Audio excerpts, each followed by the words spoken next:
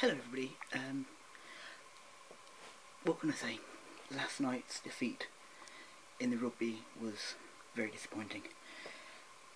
I had had a video pre-filmed and ready to upload, but I just thought I would um, put this video up just instead and do it next week. It's a great shame that the home nation of the English England World Cup won't be um, won't be in the rest of the games. It is a great shame.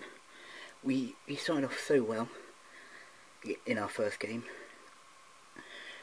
We um, we shouldn't have let our the our concentration down against Wales in the second half.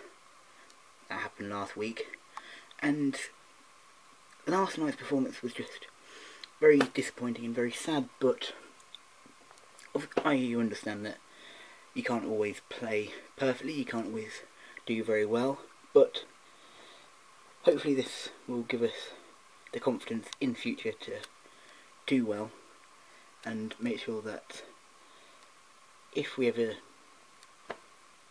do get the World Cup again that we can look back at this and be a bit more think we do do do a little bit better. But hopefully, um, of course, we just have to wait for another four years until the next World Cup, and hopefully we can uh, regain some of our national pride in when we do it in four years' time.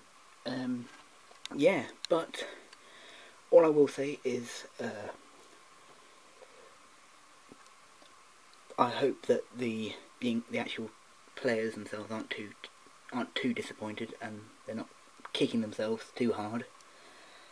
It you know it's disappointing, yes, but I'm sure as a nation of rugby lovers, we will get over it and we will move on.